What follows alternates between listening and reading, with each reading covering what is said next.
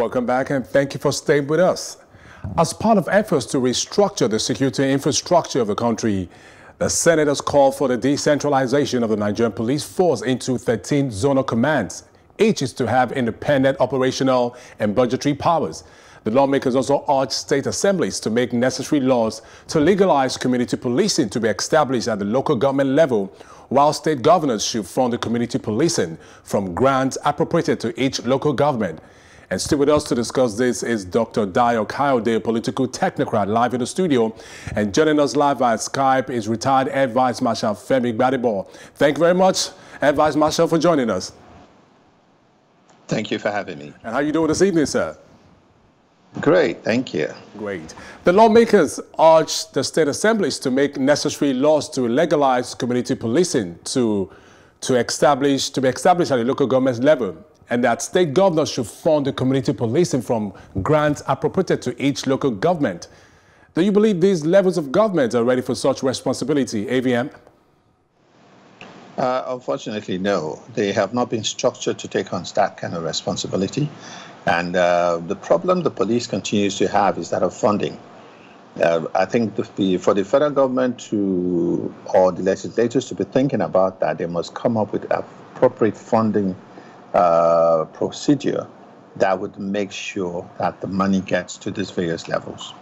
Once that is done, then we're in business because um, police has been restructured, as you know, over the years from a simple structure that we had in the 60s of a police IG with three, uh, one deputy inspector general and uh, six AIGs.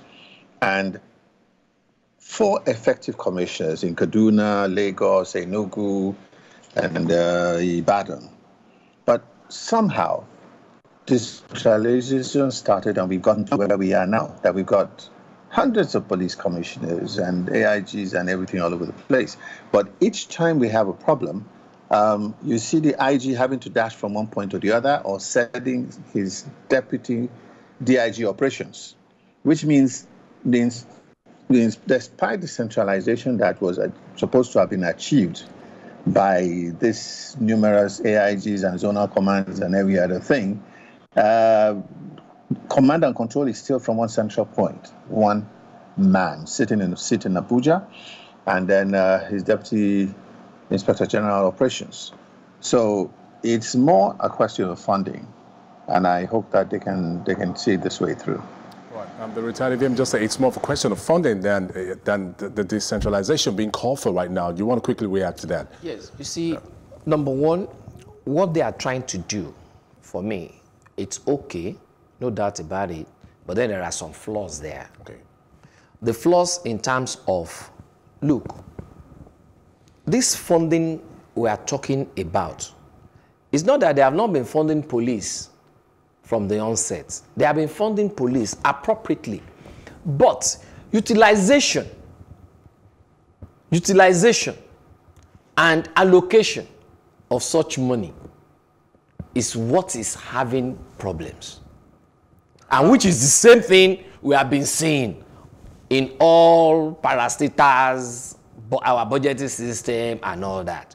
So if only we can correct that area of appropriation and utilization of funds will be okay. Now, now again, I will not want the governors to be pitching money from local government money to fund the police because it is an avenue for governors now to be exercising their authority on local government money, thereby eradicating what has been done on local government autonomy. All right, AVM, you did say it's, it's, it's, a, it's an issue, uh, he said it's, it's, an issue of appropriation and funding. You did say it's an issue of funding. Do, do you, do you disagree with him on that?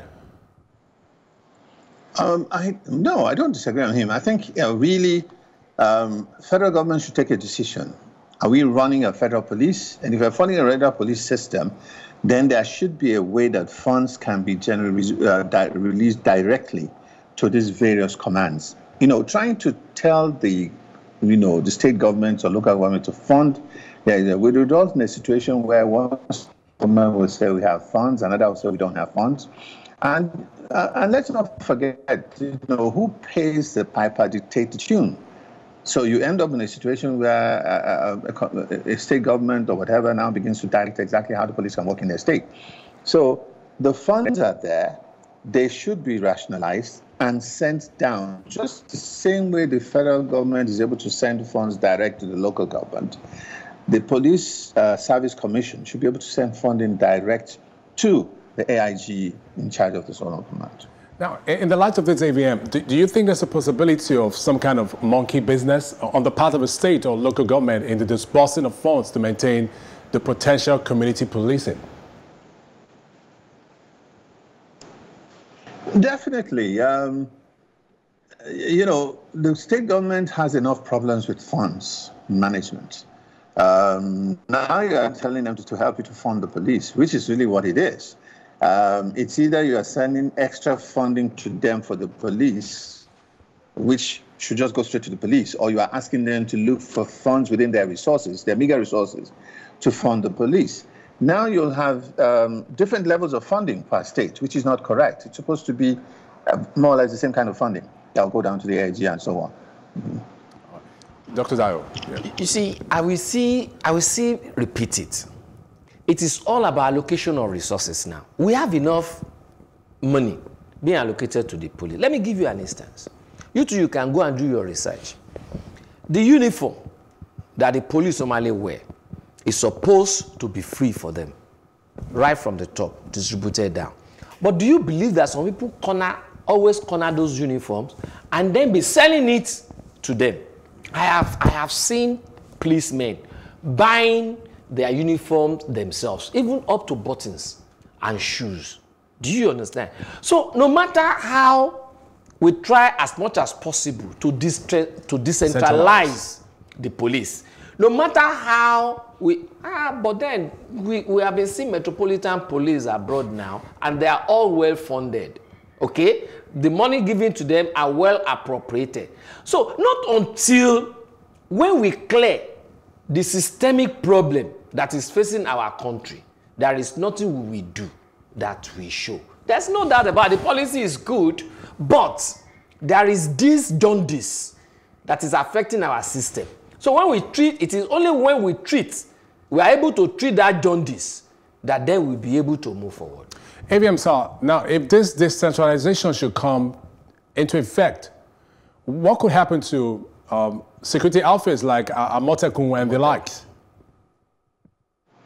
I think they would still, um, that's interesting. Uh, they would still function because they have been set up by regional uh, governments, so to speak. But that's where the issue of funding comes.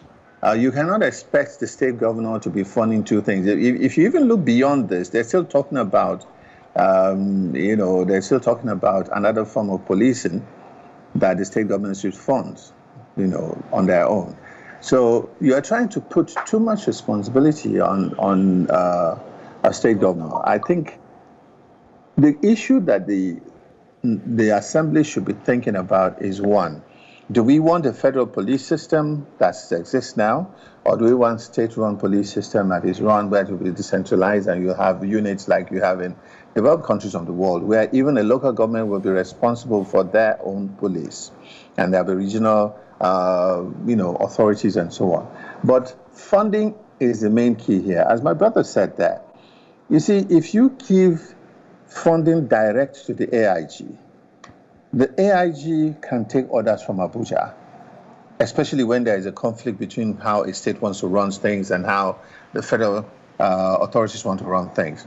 But if you ask him to now be totally dependent on the state governor, then he's going to have to, you're going to have areas when he'll be forced to, to um, disagree with instructions coming from Abuja. Okay? But if you can, in fact, if you take it a bit further, if you can fund all the AIGs, I can assure you that within a very short time, this simple issue of uniforms we're talking about, we'll find some states that are well kitted or better kitted than others. Because the truth is that we have different levels of leadership and management and even, uh, you know, uh, sophistication amongst our police officers and amongst everybody. So you'd find some people would rather have themselves well represented by their men, and some people just would not care. So you would find if you go to certain levels with the Mopol, you'll find the Mopol with the VIPs. They're very well dressed. Why? Because somebody is going out of his way to make sure that his escort, his oddly, whatever, looks good. And okay. the truth is that extra funding is being provided. All right, that. quickly, quickly, AVM, we're running out of time, but I need to ask you this um, finally. Now, the issue of grant that the federal government was, has also urged, um, has been urged to financially support the community policing initiative with an annual grant. Do you believe this should be left as a grant, which the federal government can decide to give or not to give, or should should it be constitutionally um, something that should be embedded? Well, if we're going to have community police work very well, I'll, I'll, I will just ask that the federal government stay off this issue of bringing the police, I mean, the, the, the state and the local governments into supporting the funding of the zonal police commands and let them leave community policing to the states and the local government. That way, we'll have a structure where there'll be a minor uh, community police run by, by the local government chairman and a slightly bigger one run by the state's governor. And that will bring policing right to the door of everybody. Retired Air Vice Marshal Femi Gbadebo, thank you very much for joining us and for your insightful contribution. Thank you for having me. Now, Dr. Dayo, quickly, please. Now, yes. You see, the solution to the whole thing, we have, we have had series of the problems we have discussed about the problem. Let yes. me tell you the solution. Simple solution to this. The zonal policing system they are trying to create, fantastic. Okay? Down to local governments.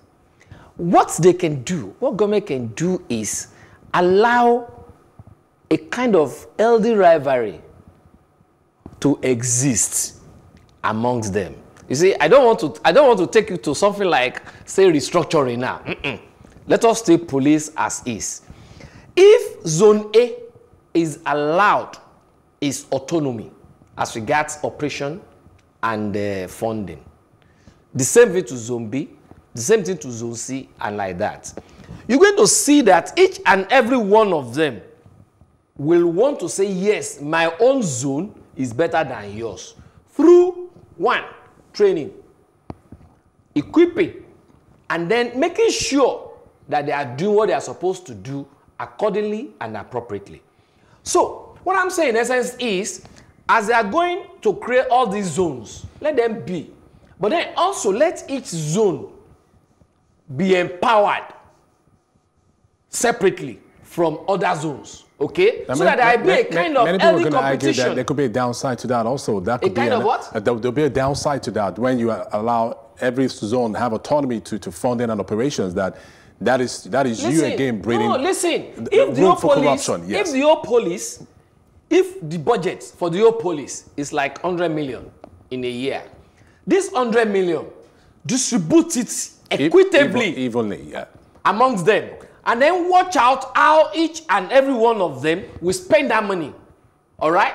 Now, the Police Service Commission will now be the one to know how to monitor them to ensure that there is healthy rivalry and to ensure that they are performing their duties accordingly. Dr. Dayo Kayode, we're out of time, but thank you very much for joining us on the show thank, this thank evening you. and for your contribution. Thank you. Thank you for staying with us. We'll take our plus report now, and when we return, I'll be giving you my take. Stay with us.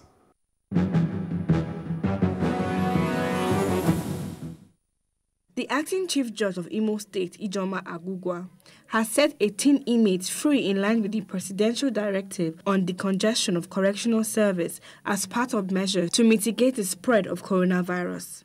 Speaking after the two-day exercise at the Correctional Service Center in Owerri, the acting chief judge charged the released inmates to be law-abiding while warning members of the public against discrimination. And uh, uh, fortunately, we struck out three matters because of death and then uh, we granted quite a number of bails. Then most of the cases that had been abandoned, we sent them back to the various courts, magistrate courts, high courts, to continue trial. And because of the COVID uh, lockdown, I've moved most of the courts. Uh, Omoagwo, um, Aboh Mbaise, I've moved all of them to sit in Owerri to expeditiously discuss. Well, uh, since yesterday we have been having these activities, and the activities is tagged Go Delivery. Go Delivery is the visit of the Chief Judge, the state, to correctional center, at least every three, three months. I'm also in view of uh, the presidential directives to decongest the correctional centers, coupled with COVID-2019, there was a directive, hence the visit of the Chief Judge.